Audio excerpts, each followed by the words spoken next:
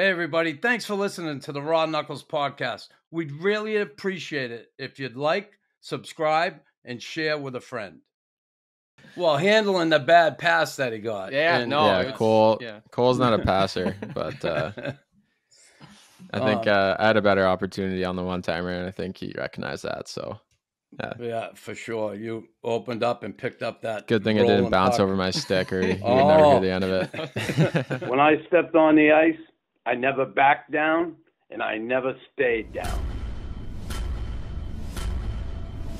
And I was vicious and I was malicious. And I don't care. He's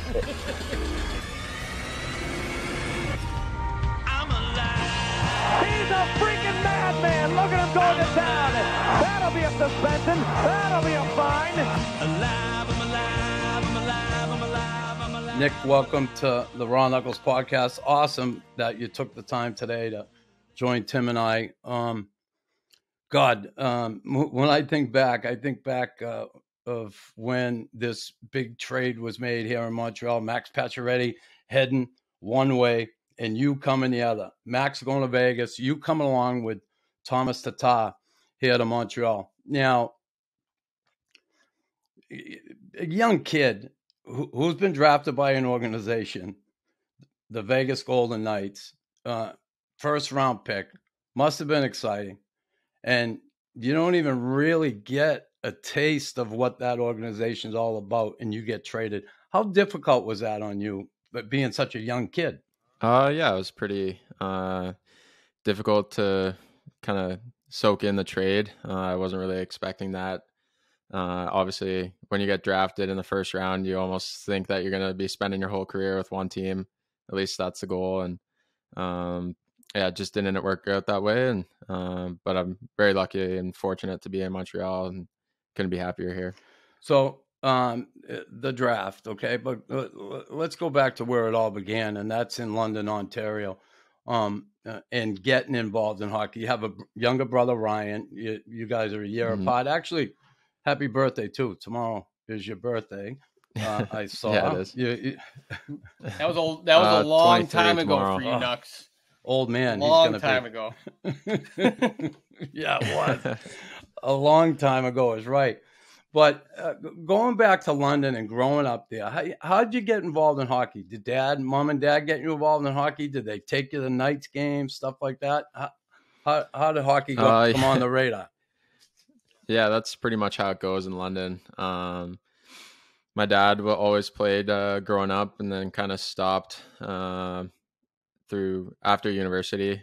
Uh, but my mom never knew really knew anything about hockey or watched it that much. But uh, so it was mostly my dad, and obviously with the Knights in town, uh, it's very easy to see hockey and be around it. And uh, that's kind of my some of my earliest memories are just at the rink with my dad and my my brother. So uh, yeah, it's been a long road, but uh, it all started in London, and it's definitely thanks to my dad. Yeah, well, you played in that Alliance. You won uh, Alliance Hockey Player of the Year award. You won uh, as a young kid. You played with your buddy Isaac uh, Ratcliffe. Are you and Isaac still good buddies? And um, growing up with him, how was that? Did you push each other? Was your brother Ryan in that group, or did you play with him growing up? Oh yeah, me and Isaac are uh, still really good friends. Um, so we, when I was uh, probably five, we met Isaac, and he actually just lived up the street from me. So uh, we were always in the same neighborhood, and uh, ended up going to school together later. And then we actually lived together in Guelph when I got traded there in junior. So uh, we've uh, spent a lot of time together, and definitely pushed each other. And just happy to see where he is in his career, and I think he'll be. Probably a mainstay NHLer pretty soon. Well, that'd be awesome if he if he uh, certainly uh, makes it and you end up playing against him one day. It'd be awesome. You know, I looked on your uh, Wikipedia page and um, it said on there how you suffered from a number of childhood illnesses. Um, how difficult was that going through the thing? It says here hand, foot, mouth disease, pneumonia, respiratory cynical, uh, scintillation virus and ear infections. They, they make it sound like um, you had a really difficult time growing up I don't know physically. I, don't know why that's on Wikipedia, but uh, I think that was more so when I was like one and two. So okay. I didn't really have to deal with it. Obviously, my parents got the worst of it, but I don't. I don't remember having any of that stuff. So Well, Why is uh, that in there though? That is I- actually yeah, that's pretty a. I- you had a hard first six months of your someone life. someone was really happy about putting that in my Wikipedia page. I guess we got to correct that. We got to take that out of there. Then. Um, so yeah, growing up in London there and uh, having the Knights around and seeing it all the time. So you you, you end up um, going to the OHL and you end up in Owen Sound to start. Uh, the the step up from Alliance uh, Hockey Player of the Year and going to junior was that a big step for you, or did it seem like a you know kind of seamless transition to junior hockey? From when I first showed up in Owen Sound uh, to the end of my rookie season, I think I just grew a ton uh, as a player, and I had a lot of great help from a lot of uh, leaders and uh, coaches on in Owen Sound. Uh, we weren't that great uh, my rookie season, so uh, I was able to play a lot, uh, play in every position and every role. So uh, it was great for me, and uh, that was probably one of the biggest years for my development. Yeah, that first year, right? Uh, in Owen Sound, Mhm. 2015, 2016.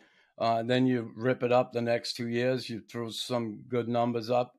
And um, you end up um, in 2018, 2019 getting traded uh, during the season. Now, going from Owen Sound to Guelph, um, how difficult was that for you being there for four years and then jumping over?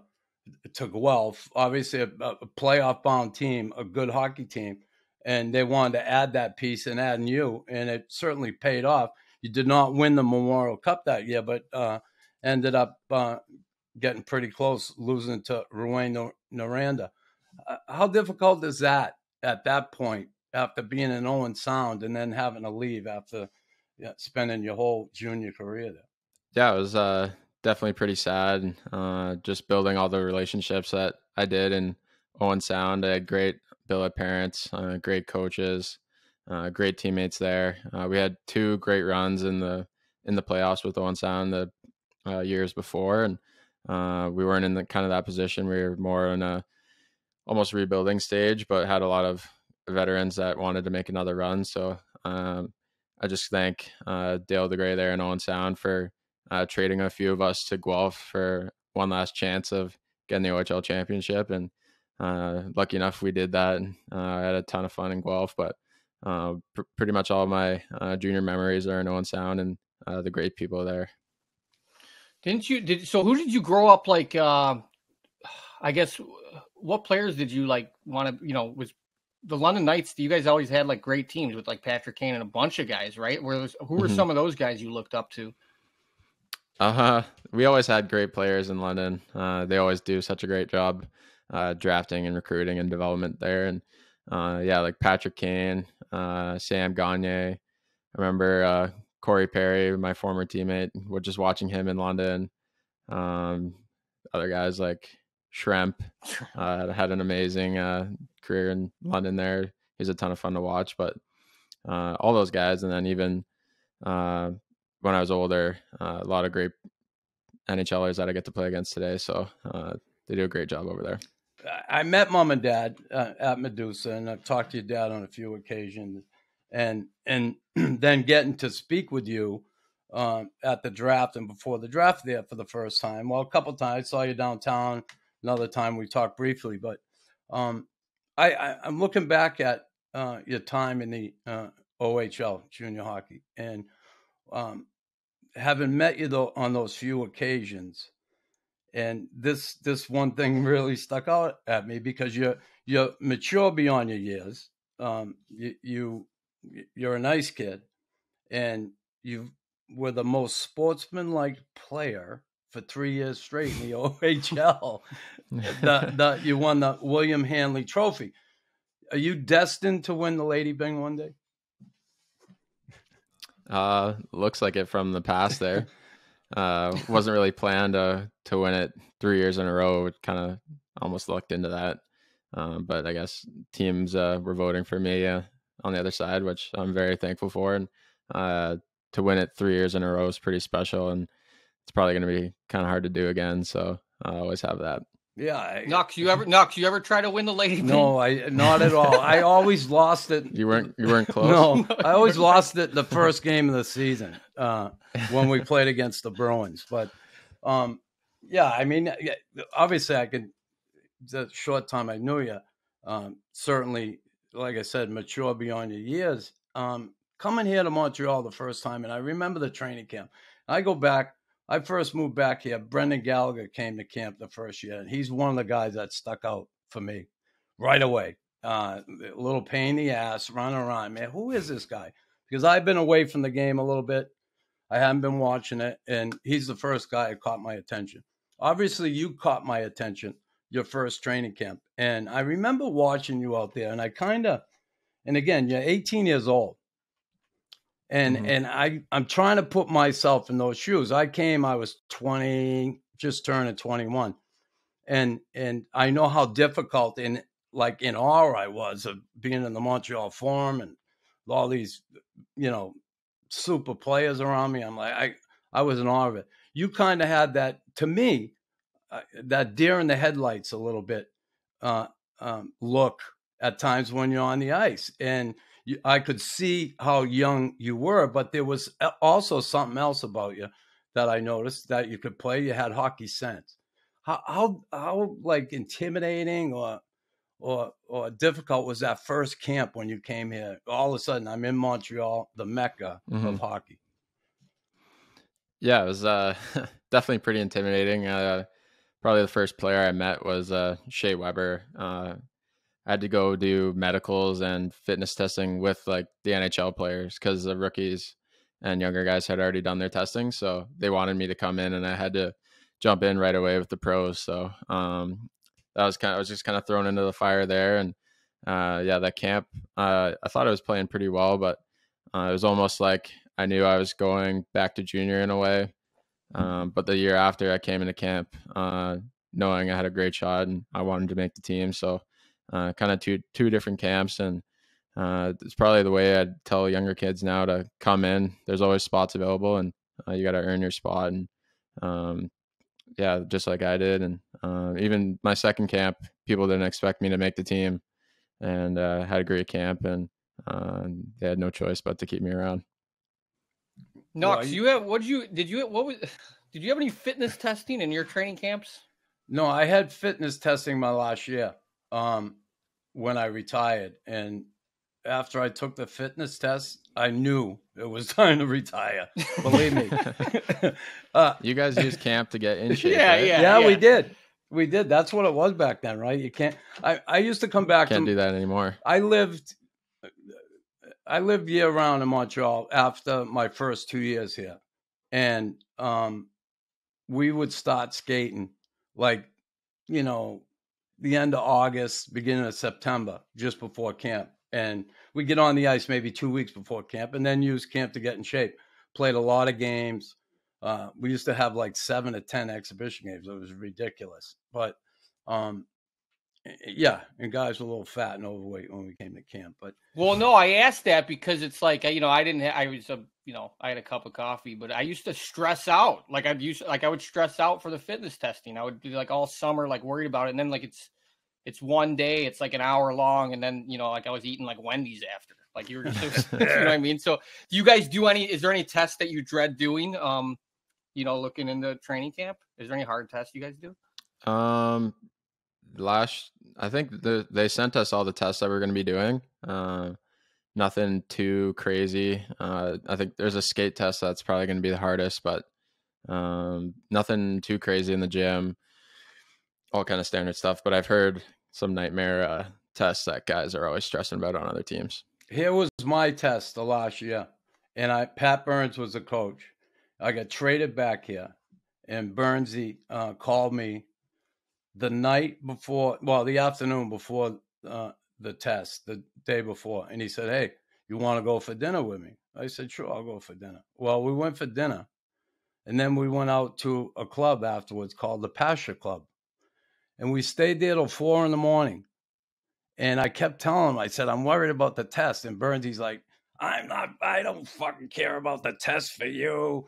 Yeah, you know, just go there and, you know, do one sit up, do one push up. Anyway, we had to skate a mile and we did all the Nice. testing. Then the last thing we had to do was skate a mile. And I was skate with Carbino, who was my line mate for years.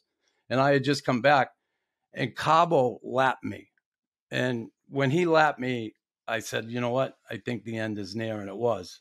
That was my last season. So that was the extent of my test. And I thank uh, Burnsy for um, for burning me out the night before, keeping me out till four in the morning. But um, so so you come to camp and in in that first camp and you go back to junior and you have that run and you go to the um, semifinal the Memorial Cup. How big a year was that for you from a personal growth standpoint when you came back to that second camp with the Habs?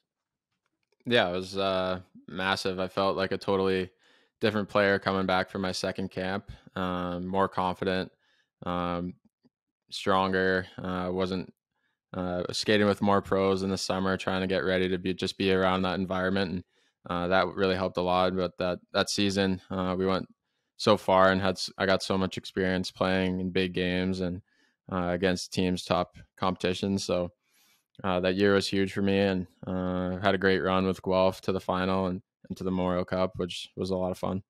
Yeah, it was, and y- you played well in that. Um, certainly, no question about it. And you come to you come to training camp with the Habs, like I said, the second time, and and you felt like you had a good shot to make the team. And there was a big difference in Nick Suzuki that second camp, and you end up coming in and making um, a spot for yourself.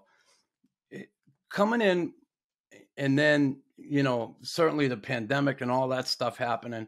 Um, you know, had to be difficult, but how key was it to to have those that core group around you, the Gallagher's, the Shea Weber, the Carey Price, the leadership in that room?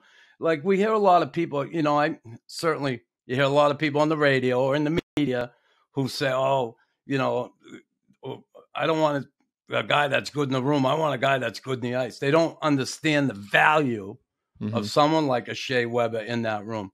Can you kind of let the people know just how important it is to have someone like him and Carey Price certainly in that room uh, leading the way? Oh yeah, it's super important. Um, I could pretty much go ask Webby for anything. Uh, places outside of hockey to go to, like where to, I don't know, where to shop, where to eat, everything around the city. Um, looking for apartments, he has a guy. Looking if I needed anything, he seemed to have a guy for it. So um, all those older guys do such a great did such a great job with me. Uh, just welcomed me in right away, uh, knowing I could be comfortable with them and not trying to step on any toes and just be a good rookie and uh, do my thing. And uh, all the guys I think respected me for the way I worked as a rookie and uh, just had a level head and stayed humble and all stuff like that. So I think I did a good job of just knowing my uh, place as a rookie and not trying to do too much. That's awesome. Yeah, Awesome Nux, right? that. That. just sounds, you know, that's like the Yeah. old school mentality. I love it because Nux loves all the new school stuff. He loves the iPads. He loves all the video games. So, no, it's refreshing to get a, you know, an old school kind of mentality. That's great. That is like, because again, for young kids to come in and, you know, I, I geez, I remember Alfie Turcotte coming in, he was a young kid, he, he- a good, good little guy, but he was a cocky little bastard. And I'm like, this kid doesn't have a clue what the hell is going on here, right? And, a guy like Weber, obviously seeing that, I'm sure they put put someone in their place pretty quick. But uh, you strike me anyway uh, as a humble kid, and, and and certainly understand that part, that locker room dynamic. But uh, let's talk about in the room though, Shea Weber, when when things get tough, because there was some shit going Yeah. on with this team, you know. And here you are, a young kid coming in, and uh, you've already had fucking three coaches, right? Yeah, Yeah. Julien, uh, Ducharme, and now uh, Marty. But you know that's that's a lot for young. I remember, uh, you know, changing coaches, how it affected the team, and it always gave the team a boost in that. But you get it, get used to all you know new way of doing things and Mhm.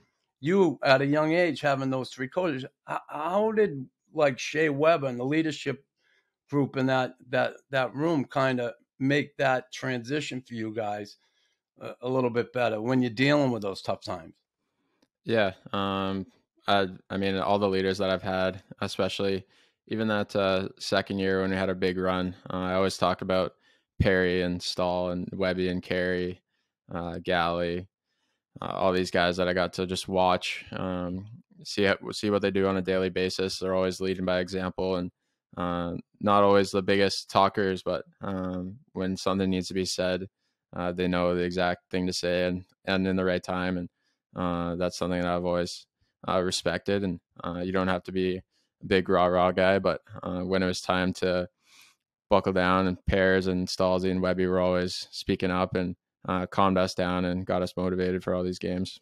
Yeah, it's good to hear. A lot of people don't uh, understand that dynamic in the locker room and how important it is. Um, Yeah, I mean, if you had if you had 20 20 year olds, uh, they'd have no idea what you're doing out there. So uh, you always Yeah. need that veteran leadership, guys that have been through it. Uh, I mean, we had some of the best leaders that uh, are in the NHL, so uh, it was pretty cool for me.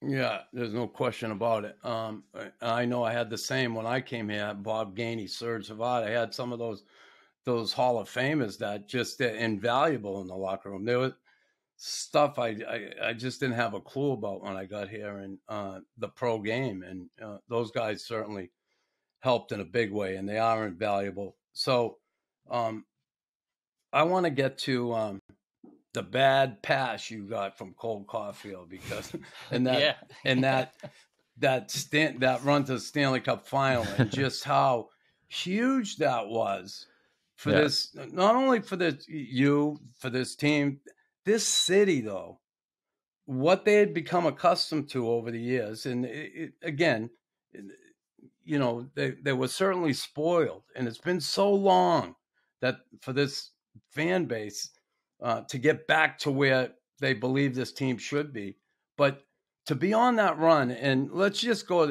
down 3-1 to the Leafs and we sent our secret agent in Alex Galchenyuk and we had him fucking give the puck away. Thank you Alex. But uh, uh, Cole said, "Geez, I you know what? We had him on and he said, "You know what? I should have shot it, but I gave him a shitty pass." but you picked it up like how how huge was that?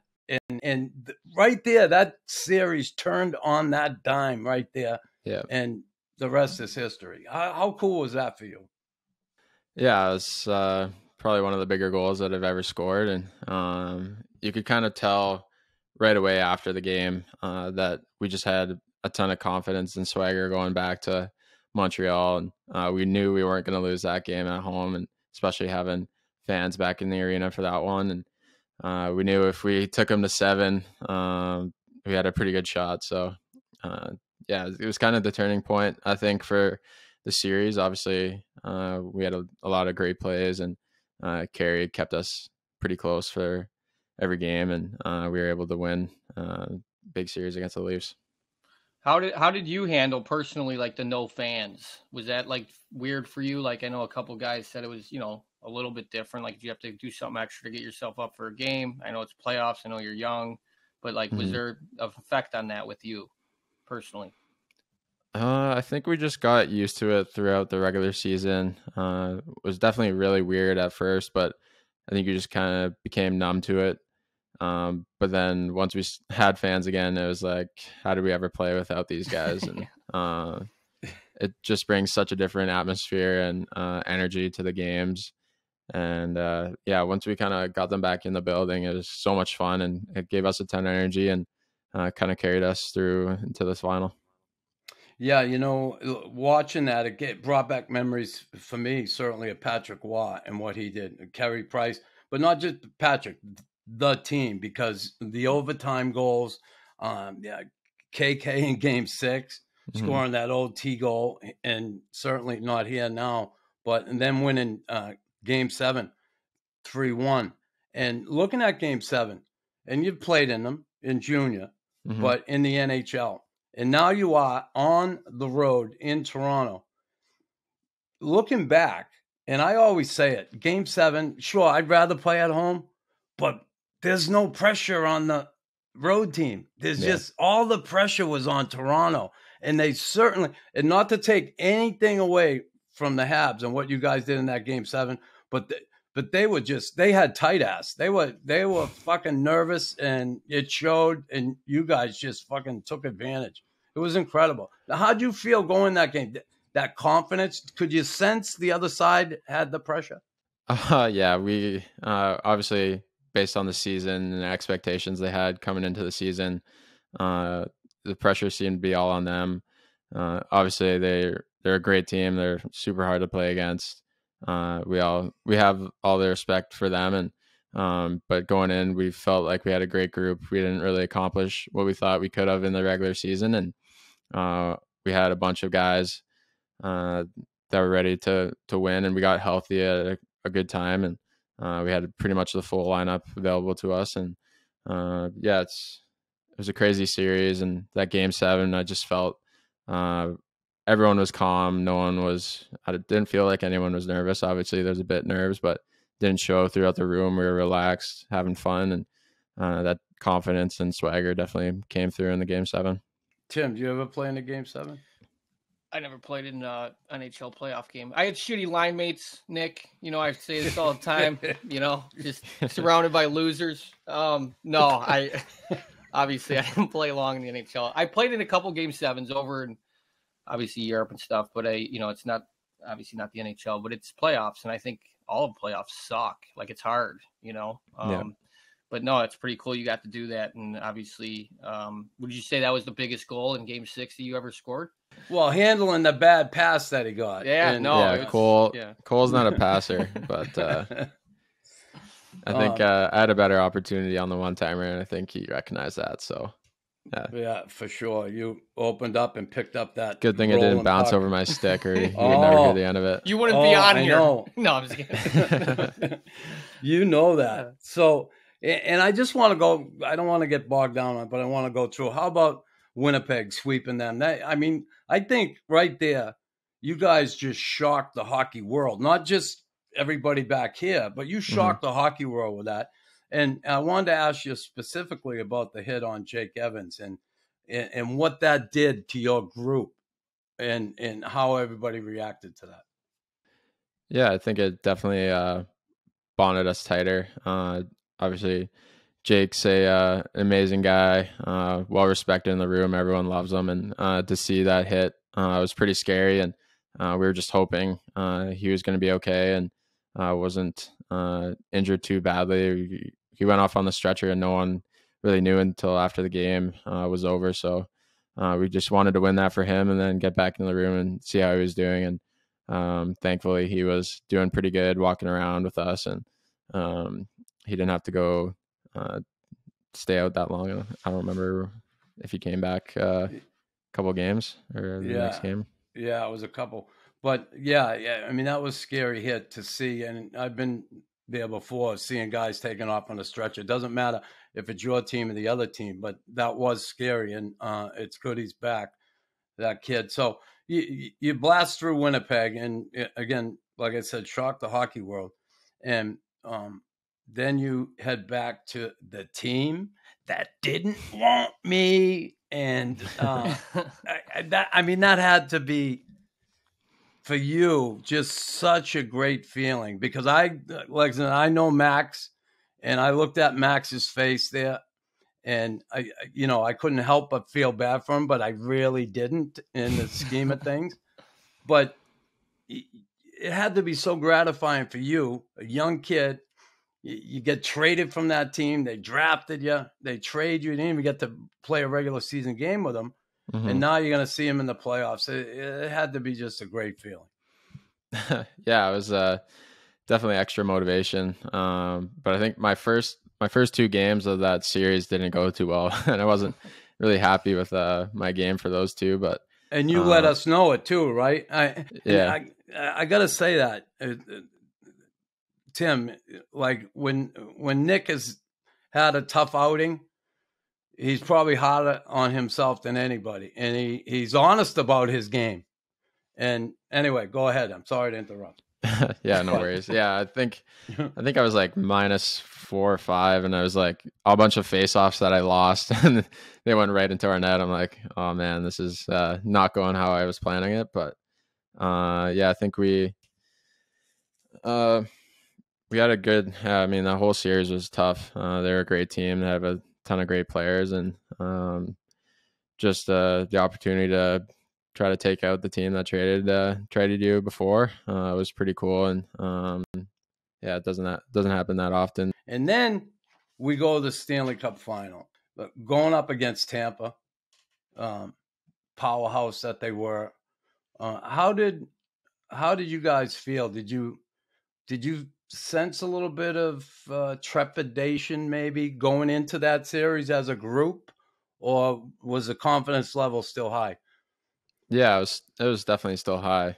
Um, we beat uh, three really good teams on our way to the final, and uh, we knew Tampa had an amazing uh, regular season there, and obviously uh, winning the cup the year before, and um, having all the great players that they did. Uh, but the confidence was still there, and um, the first game didn't go too great. Um, but then that second game we lost, but I thought uh, we played a lot better than them. Just a few bounces didn't go our way, and uh, I think if we were able to win that game, the series could have been a lot different, obviously. But um, yeah, I think we matched up pretty well against them. Um, but yeah, didn't go our way in the series, and uh, but the confidence never uh, got away from us. How about for you on a personal level? Um, the experience overall and the growth uh, in that playoff season and in in doing it yeah certainly having those veterans around but with some mm-hmm. new young blood in this organization cole and company yeah it was uh, an amazing experience for all us young guys uh, not some players never get that opportunity to go that far in, in their careers and uh, we want to get back there and uh, that's our number one goal and uh, just for me the experience of going that far playing playoff hockey against uh, the best competition in the world. Uh, gave me a ton of confidence going into the next year and my uh, hopefully long career and the next playoff opportunities. And uh, we know we can get it done. Uh, I think our team's uh, going in the right direction where we'll be competing every year, and that's the main goal for all of us. So um, you come out of your entry level contract, you sign a nice big contract, and deservedly so. And eh, listen, a lot of people will look at the contract and say, "Oh, it's too much too soon." Um, uh, it could be more down the road. Who knows? So I, I think it's a very fair contract you got, um, and based on what you've done here in the short time, uh, the leadership you've shown, and um, the your on ice ability, what you've given to this organization already, um, I think it's a very fair contract both ways. That being said, that being said, um, that being said, do you, you think it was too much too soon? well, no, go ahead. Is that your question, Tim? Go no, ahead. I was just when you no, said that, I was like, yeah, not. he's probably the last person that's thinking like this is too much too soon. I'll pass on this. Of course he's not, no, and I get that. But in this town, Tim, I know, like I know. you get it's... picked apart big time. But you know, too much too soon. No, the contract is fair, I believe, like I said. But you now coming into this season, I see you living in Montreal. There's talk of Nick Suzuki being the captain of the Montreal Canadiens one day. Now, listen, um, there's a young core here. And sure, there's a couple veteran guys here that been here for a while that certainly could be considered.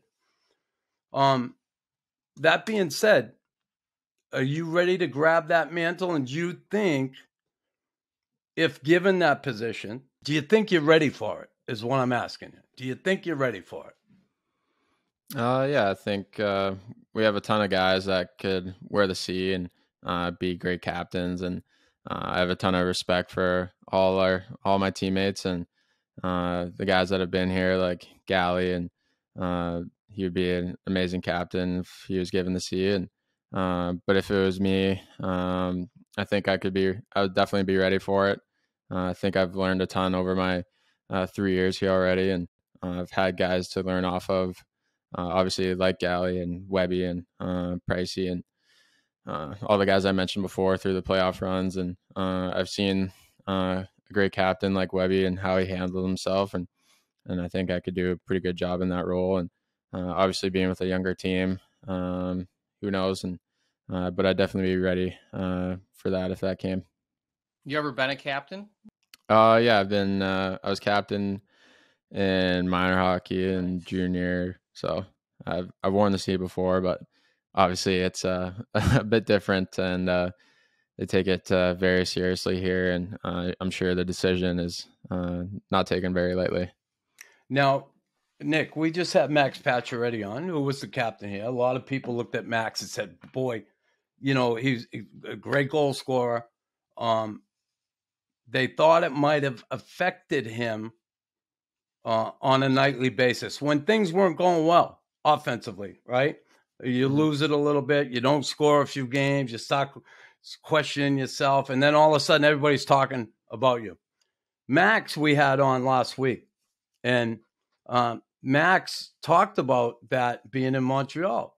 He said, You know, I got to Vegas and I was like, like it was so different. I, I, I almost slid a little bit. He said, but I caught myself. He said in Montreal, I had the pressure all the time, it, whether it was from the fans, um, uh, on the radio, my neighbors, uh, everybody. I had that pressure where I was constantly being pushed and had to had to produce. He said I got to Vegas and it was almost like, well, no one's holding you accountable. Like, and he he he said he caught himself and he really had to push himself that extra. Uh, how about that? Hearing that from Max, uh, do you feel like that outside pressures being captain can be a little much at times? Uh, yeah, I think uh, the fans uh, expect a lot from the team. Uh, we've been a winning franchise um, for such a long time, and um, that's what they expect, and uh, that's what the players want. We want to win games, and um, I think everyone on the team is uh, pressured to do well, but obviously some guys uh, more than others. And uh, but I've always been a guy that puts a lot of pressure on myself, and I know what I'm not playing well, and I know what I'm doing well, and I don't let the media and uh, outside noise affect how I'm thinking about my game. And uh, I think uh, as a player, you have to individually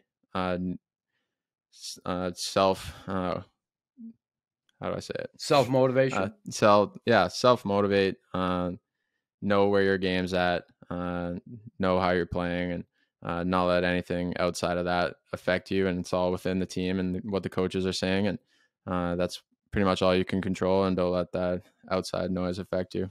And like for both you guys, I guess like Nux too. I mean, it's kind of like you have no choice. Like in a city like that, it's like it's gonna happen, right? Can you avoid the media? I mean, I guess is what I'm saying. Like, no. all, no, right? Not, not when really, you wear the C. Yeah, especially yeah. not when you wear the C. I agree. Yeah, it's... yeah, you can't you can't avoid them. Yeah. Um, obviously, they're they're doing their job.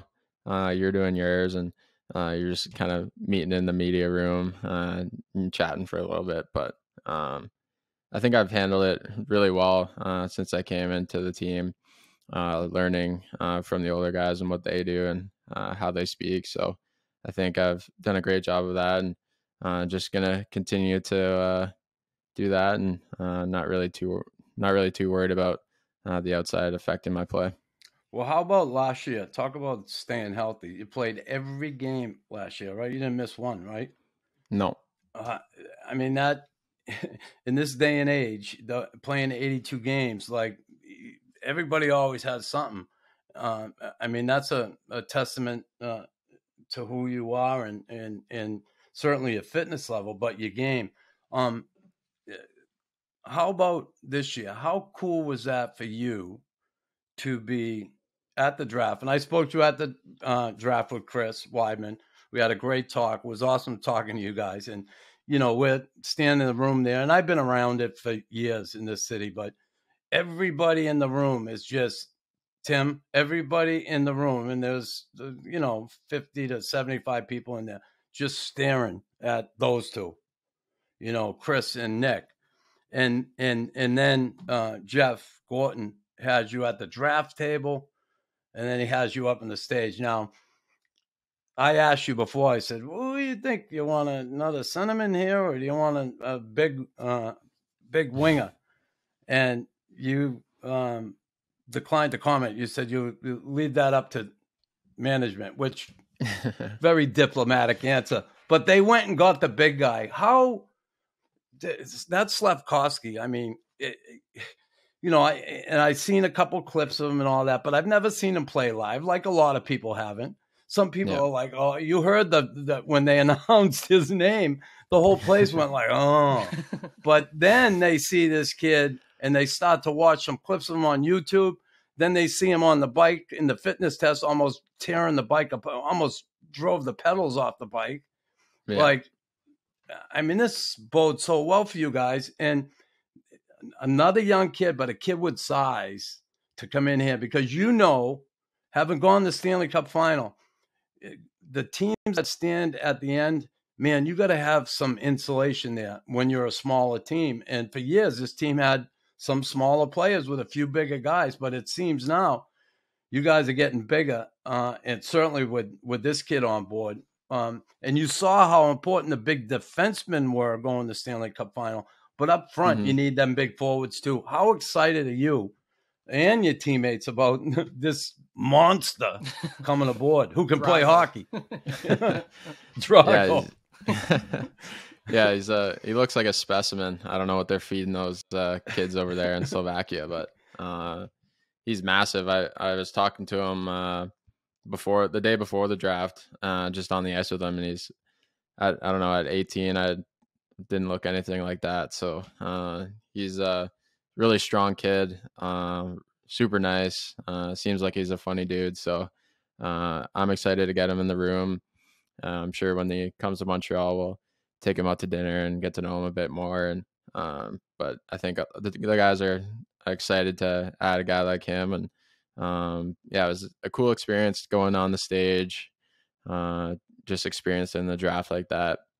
But uh, yeah, it was a ton of How fun. was his that night. English? It's good. Yeah. I think he, he took English classes in Slovakia. I'm pretty sure. So his English is Yeah, already really well. good. So He did Yeah. speak well English. Um, and and that's another thing. Um, je parle français, monsieur? Parlez-vous yeah. Français? Huh? So, Little are, have you gone to um, French class yet? Are they grooming you for uh, being I a took, totally uh, bilingual took- Nick Suzuki captain yeah, of the I took Habs? French. Uh, I took French in school for so long, but uh, in Ontario they don't really like force you to use it anytime, just in French class. So uh, I'm pretty good in uh, some areas, and but I can't really hold a conversation together. so, Nick, do you have a girlfriend now? Yeah, Okay, good. I was just curious in that. Way to That's go, a good Knock. thing. No, well, no, I, I didn't know. I got to ask him. I was going to say the best way to learn French is to get a French girlfriend, but that's out. So No you're going to French have to go to class. um, I'll take uh, I'll take an online course. there you go. Um, so here you are, um, young hockey player in the NHL, making his way. Certainly, uh, opens a lot of eyes, and and you got so many people in this city that certainly love you. Um, three coaches already, and um, all of a sudden, Ducharme is out, and we're gonna get a new coach, but who's it gonna be? And then all of a sudden, a guy that is not on anybody's radar, anybody's radar, except for maybe Kent Hughes and Jeff Gorton. Yeah, some Pee Wee coach. Yeah. like he's coaching Bantams. And listen, I've heard Marty speak on so many occasions, interviews, stuff like that. And he was always so well spoken. And you could tell he he had a mind for this game. And then he comes on board. What was it like that first? Because Chris Wideman said it. He, he was in the first time he spoke to the players. And he said he just couldn't believe it. It was like one of the best things he ever heard from a coach. yeah, pretty much. Uh, I mean, everyone saw how he spoke at the draft on stage in front of uh, 20,000 and a bunch of cameras. uh, that's kind of how he is in the dressing room. It's uh, pretty unbelievable. I was talking to uh, Lecavalier there on the table, and I was like, "Is he has he always been like this?" And he's like, "Yeah, he's always been good, great at speeches." So, um, yeah, that first day was unbelievable. I think I was just in awe of just seeing Marty St. Louis in our dressing room. Uh, and then I got really excited for him to be our coach. And just after that, uh, he kind of had the respect of everyone, and everyone was ready to go to work. And I kind of you could see it translate to the games, and um, we had we started having a ton of fun and uh, playing a lot better. And uh, there's some dark days that season, but uh, after that, uh, everything kind of went up uh, went uphill from there. Yeah, worked for Cole pretty good. Did Yeah, it worked all right. That's awesome. Yeah, Cole had a unbelievable second half there. Uh, we had a ton of fun playing together, and uh, Marty let us pretty much play every single game together. So uh, it was a ton of fun, built a lot of chemistry, and uh, we're excited uh, moving forward together. So I said that yeah, young Korea, three coaches.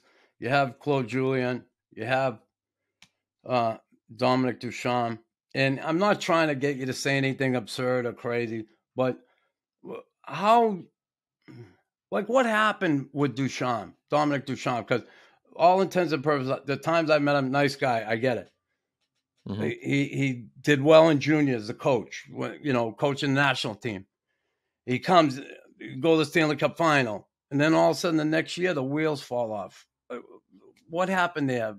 Like, what was that feeling like in the room, like with you guys? Because it, geez, from a distance, uh, and let's face it, it, it, it didn't fucking look good. Yeah, obviously it's not only the coach's fault. Uh, it was pretty much every player, uh, coaching staff, um, even trickled down to our like therapists and our strength coaches and everything. And everyone was just in like a terrible mood pretty much all like the first half. Uh, it was not that fun coming to the rink.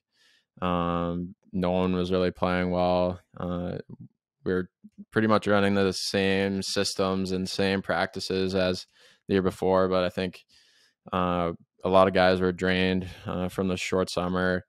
Uh, we didn't have Webby back. We didn't have Carey back. Uh, obviously, those are two huge pieces. And then we had a bunch. We had an injury bug. I mean, felt like everyone was getting injured. Had a team uh, with pretty much. Uh, I think we had a game where we played. Uh, three guys were only making over a million dollars. So we pretty much had Yeah. guys on the minimum uh, that had just been called up. Uh, I think that was in Florida. Uh, so it's just kind of a perfect storm. A lot of the guys were calling it uh, of just bad luck, and uh, hopefully we're on the other side of that for the next few years. Yeah, it sure, certainly seems like that. And don't feel bad. Three guys making a million. Fuck, the whole team when I played didn't make a fucking million. here we here we go. the old No, Yeah. no, no, no, no, here we it was go. just a- kidding, kidding. No, don't give me the here we go. I know there's one thing I never talk about, and I that listen. That this is their era. They're here. It's their time, and it's about fucking time that hockey players got paid the money they deserve. Because for years they didn't. I mean, even the guys before me. I had guys from the era before me, right, that would come in the room, and they thought we were making big money, right? And and we were compared to what. I mean, some of the guys that blaze away, it's incredible. Like Bobby Orr, like come on, Yeah.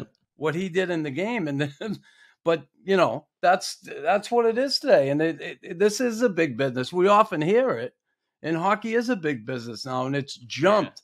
There was only in six such a big teams way. when you played. There was only six teams, right, Nux? Or you're not that Tim. old. Sorry. I was, Tim, original six. Twen- the I played in the fucking original twenty four. Okay, it's the right. original. Sorry. it's the original 32 I read now. your, okay? I read the dates wrong. Sorry. yeah, you did.